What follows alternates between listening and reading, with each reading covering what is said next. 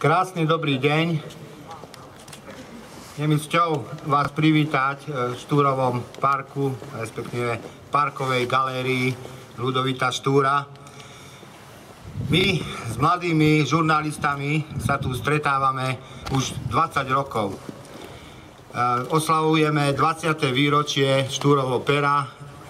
Ospravedlňujem sa hneď z úvodu, že sme trochu meškali, pretože sme krstili knihu o tejto súťaži celoslovenskej žurnalistov, ktorá je jednou z podujatí e, projektu Štúrov zvolen, autorom ktorého je, alebo bol, Jan Mieroslav Pinka.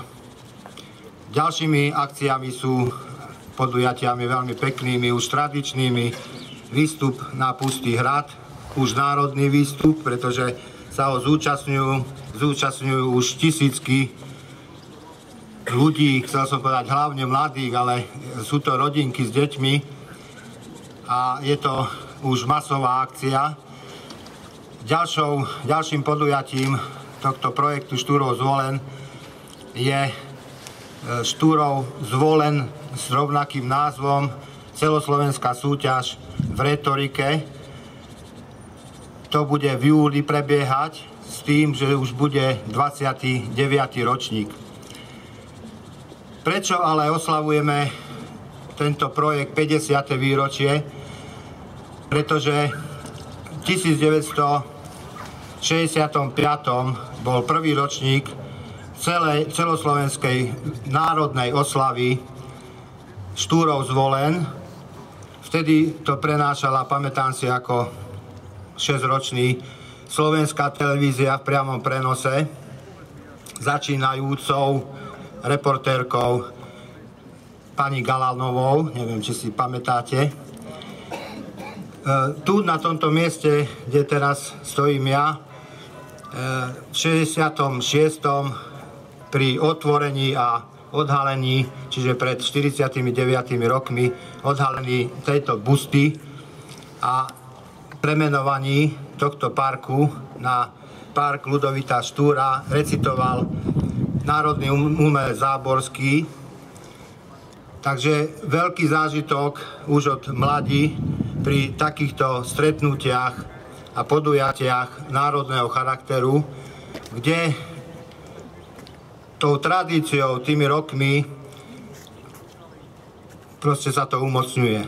A preto mi dovolte ešte raz vám poďakovať za to, že odkaz Ludovita Štúra a Štúrov zvolen, ktorý už tiež je neodmysliteľnou súčasťou zvolená, bude aj naďalej pokračovať, pretože má na to všetky predpoklady do budúcich generácií, nebojím sa to povedať, pretože ak som to dobre počítal, tak od autora Jana Mieroslava Pinku. Je tu už tretia generácia, ktorá recituje na e, súťaži celoslovenskej v retorike Štúrov zvolen.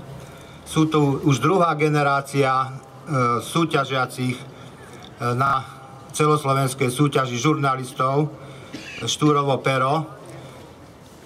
A samozrejme tie výstupy, ktoré som spomenul na Pustý hrad, už od maličkých detí sa toto traduje, čo je veľmi fajn a opakujem, preto už zrejme nevymaže sa z historickej mapy e, Štúrov zvolen ako taký. Ďakujem pekne ešte raz za účasť, prajem príjemný deň.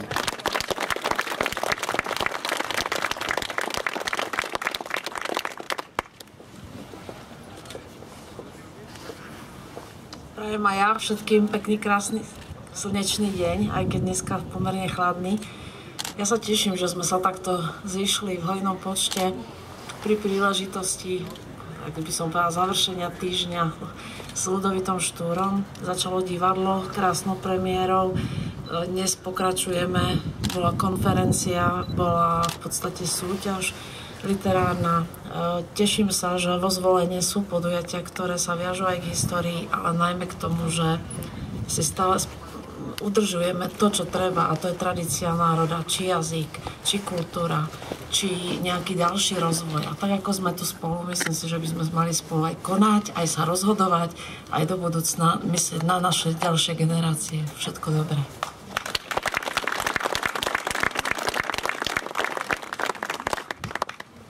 Ďakujem veľmi pekne za úvodné slova a už teraz poprosím predstaviteľov Matice Slovenskej, účastníkov štúrovho opera, pristúpime k pietnému kladeniu vencov a tichej spomienke k nášmu, jednoznačne môžem povedať, najväčšiemu národnému diateľovi a prvému európskemu poslancovi Ľudovitovi Štúrovi.